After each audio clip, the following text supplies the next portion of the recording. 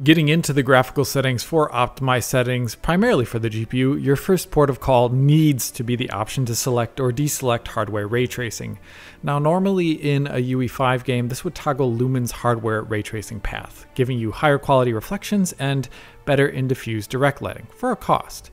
In this game's case, that is true. For minimal GPU cost on an RTX 4060 at native res 1440p, you can get much better reflection quality using triangles instead of blobby SDFs. They'll include dynamic objects and give you more stability, with less noise on them due to accurate traces, as we can see here, 6% on the GPU in this scene. For diffuse lighting, the difference can be more subtle, but as we can see here, you can get more accurate bounce lighting with more red lighting hitting adjacent geometry here in this scene. And on the very high setting, it is common actually to see the hardware path being faster as we see here. Now this would all be quite excellent and I'd recommend to turn it on for higher end GPUs, but your CPU would need to be up to snuff. As we can see here, when CPU limited, the Ryzen 5 3600 is 25% slower with the hardware ray tracing path on.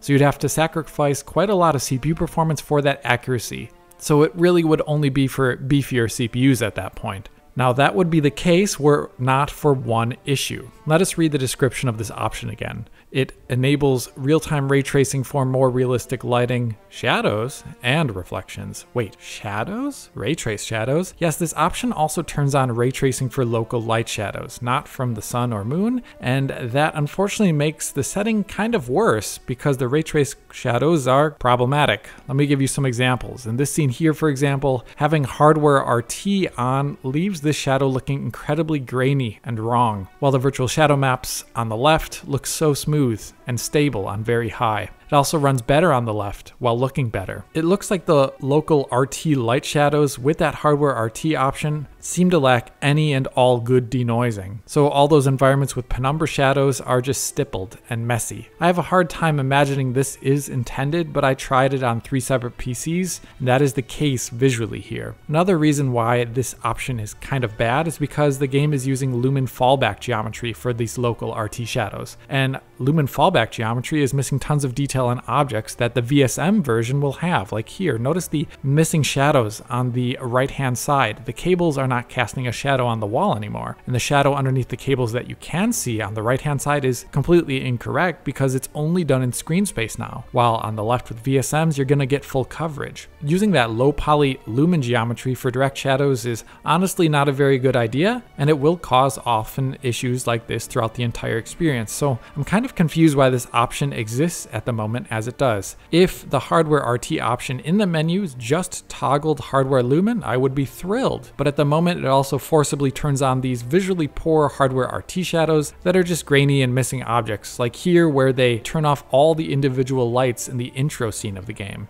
Till this is patched and made a separate setting in the options, I do not recommend anyone use the hardware RT option here. Regarding software lumen though, mid to low spec GPUs will want to lower that setting. As we can see here, there is an immense performance difference between very high and high or medium, a 66% performance improvement going down to high and a near 100% improvement going down to medium. That is frankly absurd for such a small visual difference in many scenes. Now, usually for optimized settings, I would say use medium here, but here I recommend both high and low optimized settings. Use the high setting as the medium setting in the open world sections of the game can show quite a lot of flickering of ambient occlusion on the grass, so definitely use the high setting here in spite of it being a bit heavier. For the reflections, the main difference is found in reflection resolution, being almost quarter res looking at high and medium, and improving performance by 12% on the 4060 in this scene here. You can also see it trace less accurately, with a 5% performance uplift on medium and high, as we see here, though that more accurate tracing on the very high setting has a lot of noise in it. Lumen denoiser is definitely kind of low quality. Here I would recommend the 4070 level GPUs go for very high in spite of that, while lower end GPUs just set this to high to cache cash in on that better performance. Next option to look out for is shadow quality, which controls VSM quality, and this has an immense performance implication. For directional shadows from the sun or moon, as we can see here, you can improve performance by 74% going down to high and by 85% by going down to medium. And visually, the difference in such a scene would look incredibly minor. You can only really see that the VSM resolution is higher, so its stair steps are smaller, but it's reducing performance that much, and it's kind of unreasonable. And it's still imperfect effect due to using rasterization and having stair steps. For a more diffuse penumbra shadow, like from the sun or the moon, the difference will be even smaller. Here, there is scarcely a difference between medium and very high in spite of the performance improvement. Only low shadows turn off the denoising and look kind of unviable actually. So you might be thinking medium is the best bet for optimized settings, but looking at indoor lights makes that a tricky proposition.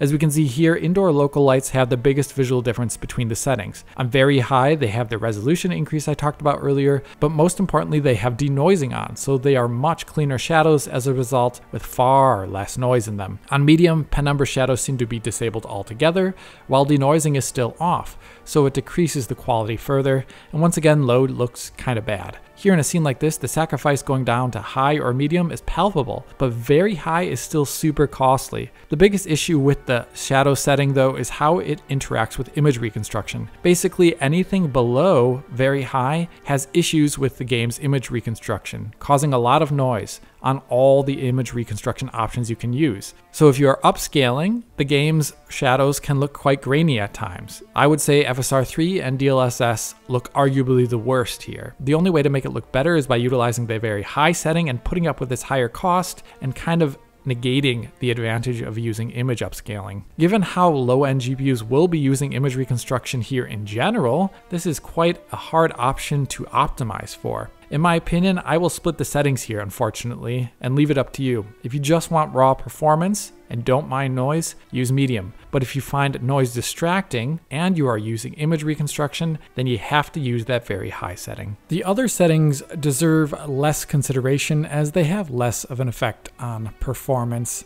Looking at the foliage quality, this option increases the amount of scattered foliage in the open world terrain of the game, with it looking noticeably sparse on the low setting.